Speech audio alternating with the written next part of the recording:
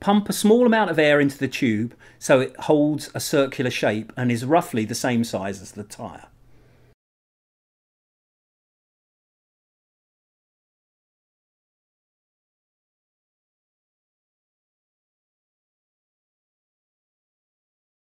It's good practice to place any coloured label or script at the valve. This may make it easier to trace a small elusive puncture hole. If the tyre doesn't have a label, use the pressure information or some other identifiable marking. Feed the tube into the tyre with the valve adjacent to the label.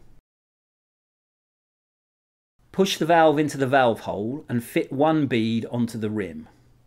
Start by pushing the valve into the hole in the rim, then get a section of the bead into the well of the rim, the bottom of the rim nearest the centre of the wheel, to generate enough slack to get the rest over the rim wall.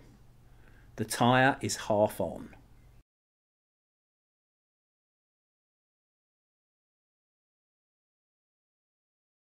Put the wheel on the floor with the valve at the bottom and the open side of the tyre away from your legs. Place your hands together on top of the tyre with your thumbs on the side away from your legs. Point your thumbs away from each other. Push the first section of bead over the rim. Lock one hand in position and work the other away, rolling the tyre over the rim wall. Once your hand is halfway down, lock it and work the other in the opposite direction until it's also halfway to the floor. Once you've reached the point where the tyre will stay in position on the rim, deflate the tube. Go back to the start position with the thumbs pointing away from each other. Squeeze the beads together and force them down into the well of the rim.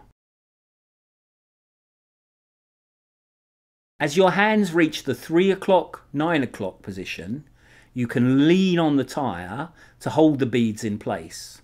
Get your thumbs to the point where the bead is going over the wall of the rim.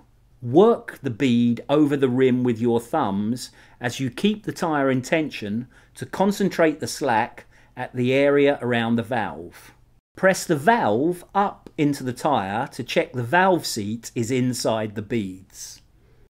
Inflate the tube to about 25 pounds per square inch. Work round both sides of the tyre in turn, forcing the bead away from the rim to check the tube isn't visible. If you can see the tube, it's trapped under the bead.